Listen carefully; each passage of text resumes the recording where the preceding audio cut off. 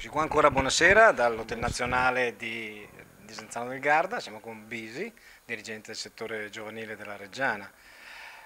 Eh, un parere su questo torneo da parte sua? Beh, io ho avuto il piacere già di, di, di presenziare al torneo dell'anno scorso con i, la nostra squadra dei 97 l'anno scorso era la prima volta che venivo qui, ma ho avuto l'impressione in effetti che sia un torneo organizzato bene, con cura, con, in un bel impianto, l'impianto è molto valido, con delle squadre decisamente di livello, direi un ottimo torneo.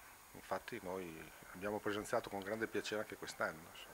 Ecco, cogliamo l'occasione del suggerimento che ci ha dato in primo luogo eh, giornalista di Sky a proposito appunto di, a volte di questa esasperazione che succede magari non, eh, non, da parte dei ragazzi del settore giovanile ma magari da, dalle tribune. Ecco, qual è il ruolo cosa deve fare un dirigente per riuscire, o c'è un segreto? Cal calmare, calmare, calmare, gli animi, il dirigente deve fondamentalmente gettare l'acqua sul fuoco, cioè innanzitutto là dove ci sono anche dei genitori che vengono a volte eh, pretendendo che il loro figlio abbia un ruolo di, eh, così, di spicco, allora bisogna cercare di fargli capire che insomma intanto è un gioco, prima cosa.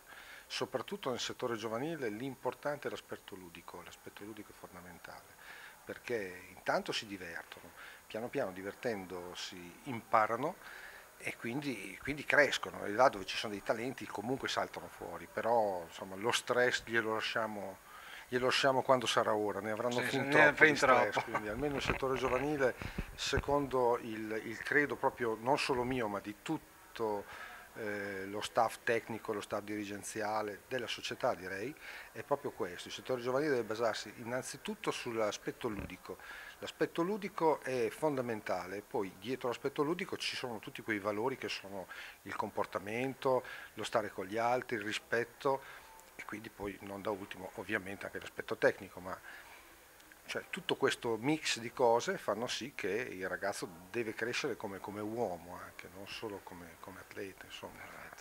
Ringraziamo molto il signor Besi, alla prossima, Piacere. in bocca al lupo. No, grazie.